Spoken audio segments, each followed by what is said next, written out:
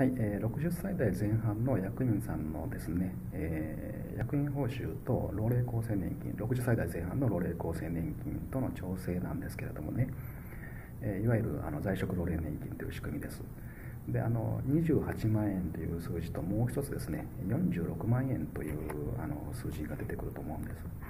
でこの46万円というねあの数字の方の意味はえー、厚生年金の被保険者の、えー、うちのですね、まあ、男性の方で現役の方ですね現役世代の、えー、男性被保険者の、えー、平均的賃金、えー、そういったことをねあの元に算出してるされてる額です。